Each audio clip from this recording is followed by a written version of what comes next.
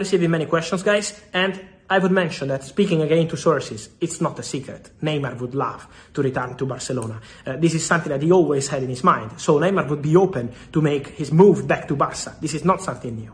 Uh, and on Neymar's side, there is the availability to this deal.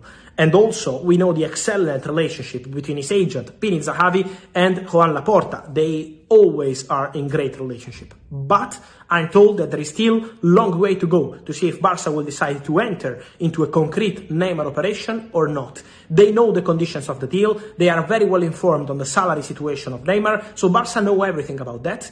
And they know also that Neymar would love to return. Now it's on Barca to decide whether they want to go into this Neymar operation or not. They have to decide internally, they have to speak to Xavi, so let's wait. The answer on sources side is still long way to go. So let's wait and see for Neymar Jr. It's one to keep an eye on until the end of the summer transfer window.